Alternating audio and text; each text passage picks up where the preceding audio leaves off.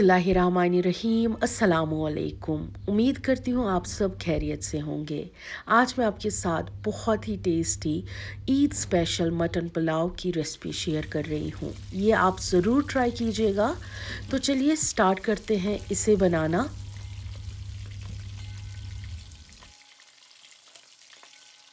सबसे पहले एक प्रेशर कुकर में मैंने आधा के जी रान का गोश्त लिया है। जिसमें मैं डेढ़ लीटर पानी शामिल कर रही हूँ। इसी के साथ मैं इसमें एक मीडियम साइज़ पूरा प्याज शामिल करूँगी। छः से सात साबुत गार्लिक छिलके के साथ ही मैं इसमें शामिल कर रही हूँ, यानी रोहन। वन टेबल स्पून साबुत सौंफ, बड़ी इलायची, लौंग, काली मिर्च, दालचीनी।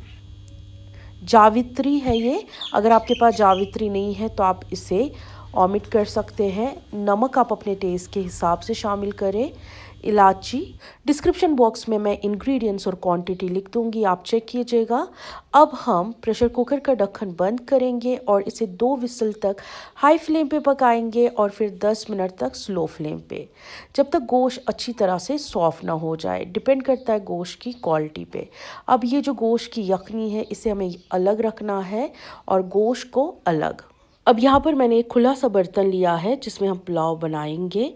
इसमें मैं फोर टेबल स्पून ऑयल शामिल कर रही हूँ। इस ऑयल में मैंने प्याज को फ्राई किया था। इसी के साथ मैं इसमें चार छोटी इलायची शामिल कर रही हूँ और वन टीस्पून ज़ीरा। अब इसे हल्का सा हम भूनेंगे मीडियम हीट पे, जब तक सारे फ्लेवर्स तेल में इन्फ्यूज़ ना हो जाए। अब मैं इसमें गोश्त शामिल करूँगी। ये देखिए, और बिल्कुल हाई फ्लेम पे इस गोश्त को हम फ्राई करेंगे। इसे हमें अच्छा सा फ्राई करना है। गोश्त जो है फ्राई हो चुका है। इसी के साथ मैं इसमें तीन से चार दालचीनी के टुकड़े ऐड कर रही हूँ। वन टेबल स्पून अदरक लहसुन का पेस्ट टू टेबल स्पून दही और चार से पाँच साबुत हरी मिर्च। सब चीज़ों को हम अच्छी तरह से मिक्स करेंगे। और अब यहाँ पर मैंने आधा के जी सेला राइस लिया है, जिसे मैंने एक घंटे पहले भिगोने के लिए रहने दिया था। अच्छी तरह से इसे मैंने धो लिया था। सेला राइस वही राइस है जिससे कश्मीरी पुलाव बनता है तो ये आपको इजीली मार्केट में मिलेगा। इसे भिगोना बहुत ही ज़रूरी है। और अब मैं इसमें छानी हुई मटन की यखनी शामिल करूँगी। ये तकरीबन 800 सौ मटन की यखनी है, जो इसमें मैं शामिल कर रही हूँ। आप एडजस्ट पानी जो है, अपने हिसाब से करें, कम, ज़्यादा। बट ये याद रखिएगा, जो पुलाव है, ये बिल्कुल भी चिपका नहीं होना चाहिए। बिल्कुल खिले हुए दाने होने चाहिए इसके।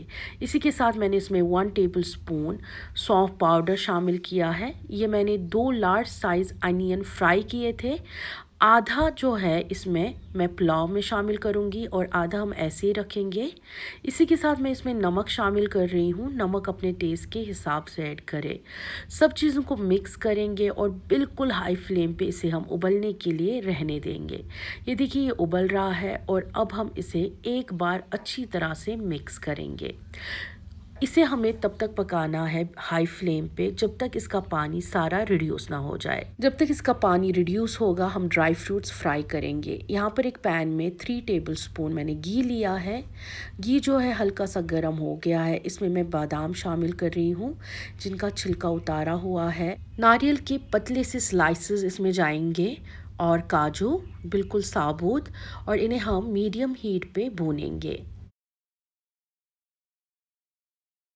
हल्का सा कलर चेंज हो गया है। अब मैं गैस को ऑफ़ करूँगी और इसमें अब हम किशमिश शामिल करेंगे। किशमिश आपको बिल्कुल आखिर में शामिल करने हैं क्योंकि ये बिल्कुल जल्दी जल जाते हैं। अब देखिए, इसे हम उतार के साइड में रखेंगे।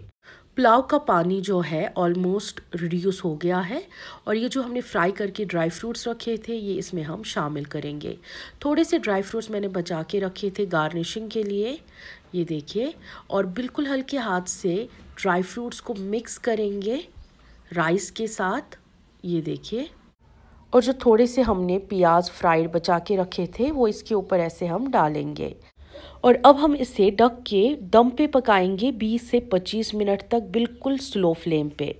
अगर आपके पास हैवी बॉटम पॉट नहीं है तो आप किसी भी बर्तन को, जिसमें आप ये पका रहे हैं, रोटी की जो तवा होती है, उस पर रख के दम दे।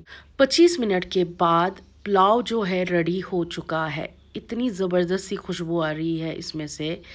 बहुत ही खिले हुए चावल बने हैं और देखिए बिल्कुल नहीं ये चिपक रहे हैं। ऐसे ही पुलाव के चावल होने चाहिए। ये देखिए। और अब हम इन्हें सर्व करेंगे। और जो हमने ड्राई फ्रूट्स बचा के रखे थे, उससे हम इसे गार्निश करेंगे। मटन पुलाव तैयार हो गया है। आप इसे ज़रूर ट्राई कीजिएगा। बहुत ही टेस्टी ये पुलाव बनता है। और अगर आपको मेरी ये रेसिपी पसंद आई हो, मेरे चैनल को लाइक शेयर सब्सक्राइब ज़रूर कीजिएगा। Thank you for watching